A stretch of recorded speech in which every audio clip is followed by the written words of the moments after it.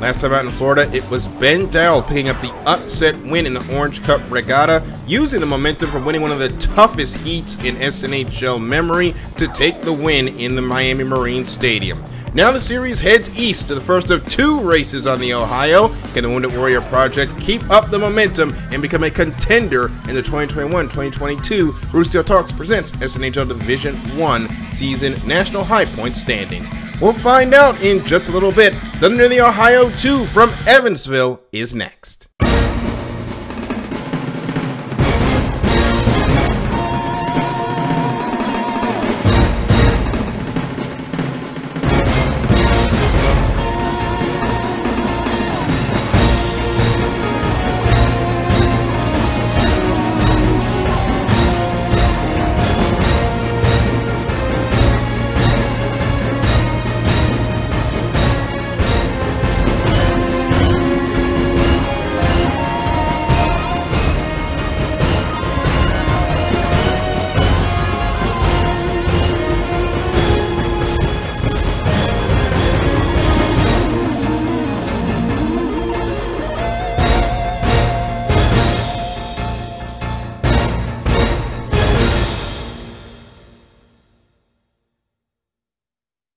Well, good evening, everyone. My name is Daryl Kinsey Jr., the voice of Night Hydroplane League, welcoming you to Evansville, Indiana in round three of the 2021-2022 Division One season. We're getting closer to the midway point of the season, and it's time to start moving if you want to win the championship or keep yourself out of relegation. Before we get into the racing, we first have to thank our sponsor. Roostertail Talk is the presenting sponsor of the Roostertail Talk Presents Saturday Night Hydroplane League. Join host David Newton on a weekly tour through the fastest sport on the water as Newton sits down with some of the personalities that make this sport great. For more information and to listen to past episodes, head on over to roostertailtalk.com. With Carson Kelly moving up to Division 1, there's been a run on first-time winners in Division 2. Did that streak continue in Evansville? Let's find out. It's time for this edition of the D2 Update. And that first time winner train kept on rolling in SNHL D2 when the series touched down in Evansville, with Pete Lacoste taking the win in the U9 Fiesta Bowling Casino presents Go Bowling, taking the win in the Junior Thunder on the Ohio 2. Lacoste took on a star-studded field of SNHL D2 competition to take the win in race number three of the season, with series points leader Tyler Sams finishing second and former D1 competitor Cy Bowen finishing third to round out the podium. The series continues on to the second of two races on the Ohio as round four heads to Madison for the Indiana Governor's Cup.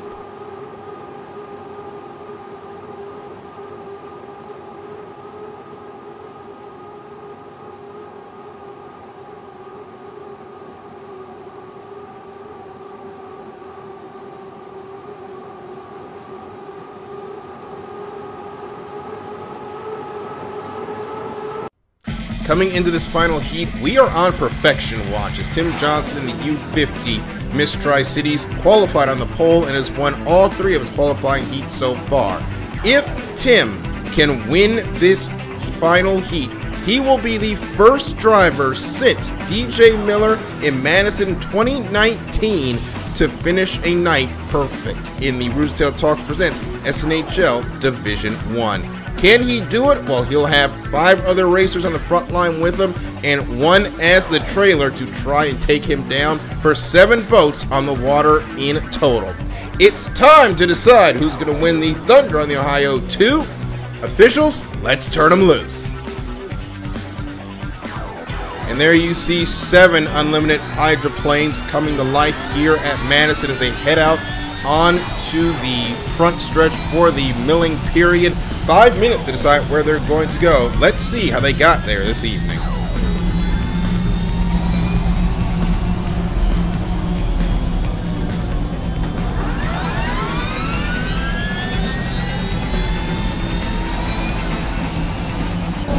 Start with Tim Johnson's U50 Miss Tri Cities. As you can see, he's finished every time he's on the water first. Another one will give him that perfection we just talked about.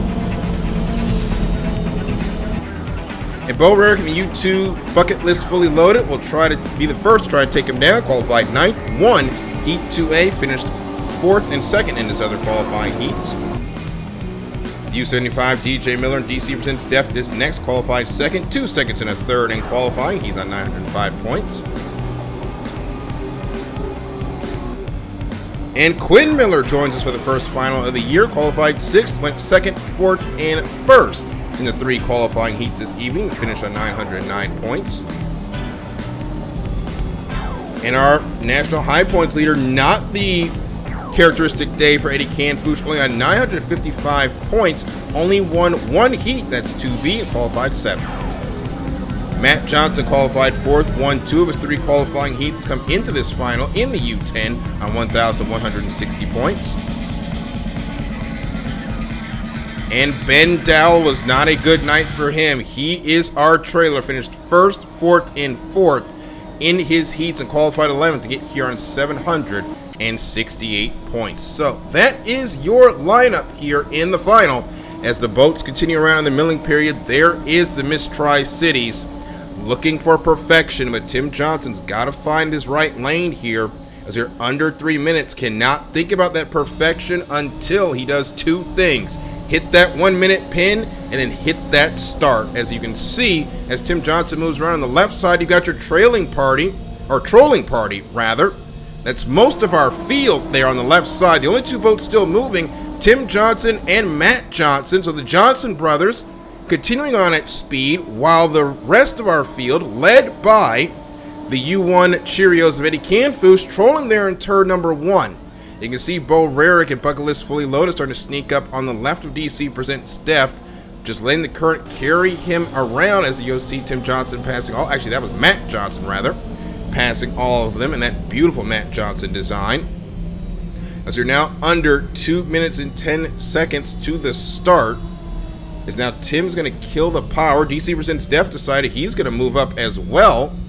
As they come around the corner, you see the day's pay there with Jarrett Meyer. That is our alternate for this heat. If something happens to one of these boats in the next 50 seconds, he will be able to join up and fight for lanes as the seventh racer in this heat. But for right now, looks like we're going to be okay as Tim Johnson starting to slow down a little bit. Not going to have time to troll. He's going to try to get a run around the outside, it looks like, as we're now about 35 seconds to the start of this thing.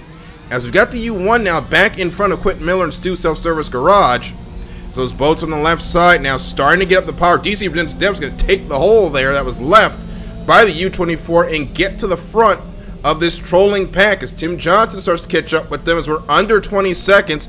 Got to get ready to get around to that commitment buoy right there in the middle of your screen while Matt Johnson is trying an interesting strategy. He's sitting right at the buoy as we're under five seconds, under three seconds, two seconds, one mark.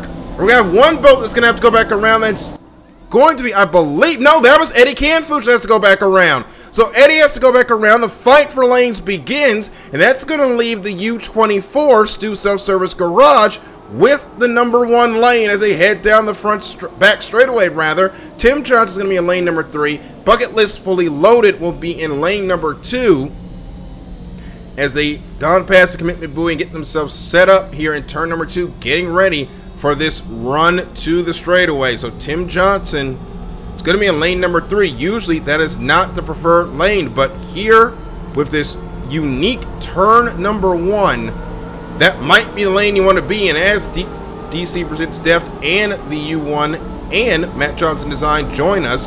So not as big of a penalty for Eddie Canfoosh. They will have to start on the outside. They're under 10 seconds, and Quentin Miller is going to lead us down to the start-finish line. But DC presents Deft. DJ, DJ Miller got a great run as we're under green. This Thunder on the Ohio 2 is underway, and DJ Miller either jumped that start or treed it as they head into turn one. He's going to have the lead with the U1 on his outside. But Quentin Miller's in second in lane number one. He's going to sneak up there and take the lead. And DC Presents Dev did jump the gun. So now DJ Miller is not a factor here. The battle between the U24 and the U50 as they head down the backstretch for the first time. And look at Tim Johnson go. He's flying the boat down the backstretch heading towards turn number two. And he's going to take the lead from Quentin Miller bring the U50 to the front. It's going to be the U24 in second as they head through turn number two. As Tim Johnson starts to try to extend that lead. He's going to move all the way over now to lane number two. To pinch the U24 in there as tight as possible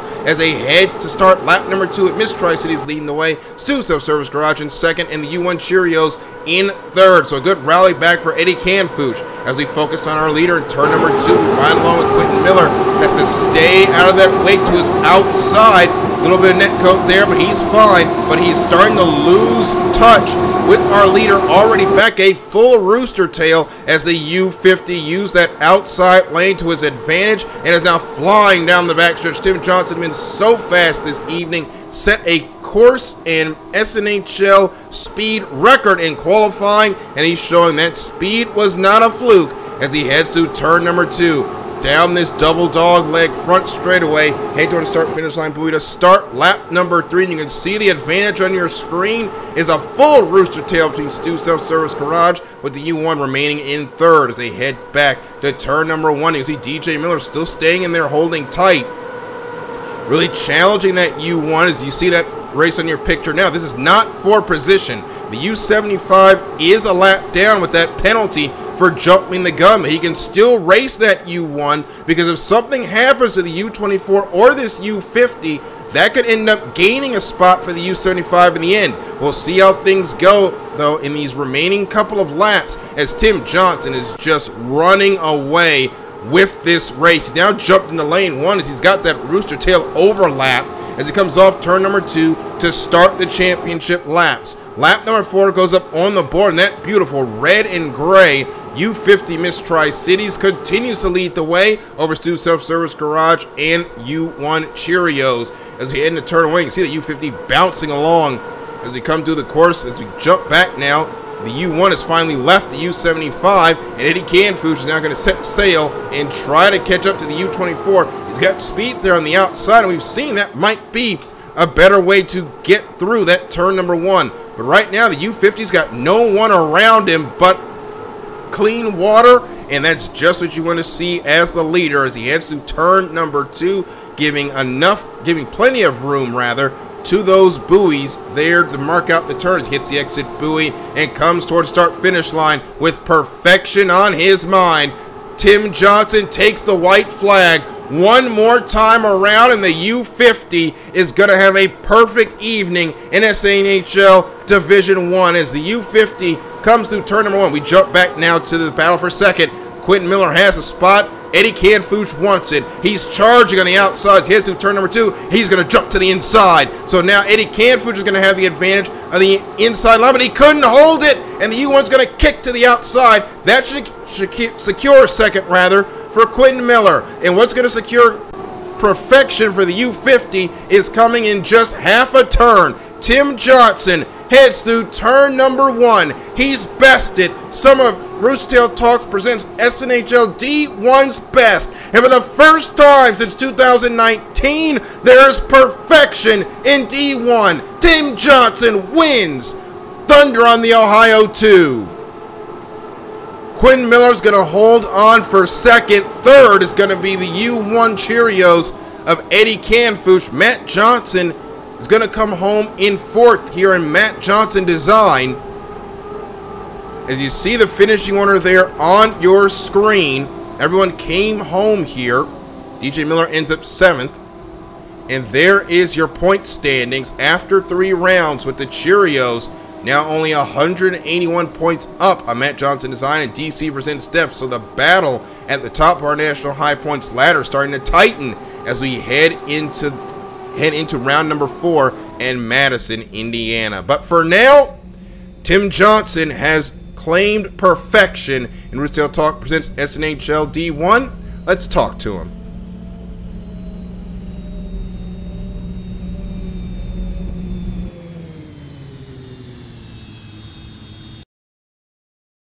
Tim Johnson, perfection at Evansville. Tim, you set the two mile course record, and it was all up from there. You are the first driver since 2019 in Division One to end the night perfect. How does it feel? It was my first win in an SNHL race, and doing it with perfection is just surreal. You came in with a lot of speed and you said that, you know, you had a rough start to the season. You made those outside lines, though, work tonight. Does the shape of turn one really lend to what we saw where the that outside lane, at least for you, was the deciding factor? Yeah, it really depends on kind of who's in lane one and what line they're taking. If they take that kind of squared off corner, then they're going to lose a lot of speed, and I'm able to kind of capitalize on on the outside and carry it through the turn. So I definitely got lucky with that. Well, tonight you picked up thir- you picked up 1700 points. That has catapulted you all the way up to 6th in the point standings. You're going to call you're climbing into this championship battle, Tim. Congratulations on a perfect night. Thank you very much, Daryl. That'll do it here at Evansville. Next time out, we'll be in Madison, Indiana for the Indiana Governor's Cup. Roostertail Talks presents SNHL D1. You can see that race December 18th live on UHL Hydroplanes on Facebook. Action gets started at 7:30 p.m. We hope to see you then. But for now, Tim Johnson reigns supreme in Evansville. We'll see you guys next time out in Madison. My name is Daryl Kinsey Jr., the voice of Saturday Night Hydroplane League. Thank you so much for joining us. We will see you next time. Have a wonderful evening.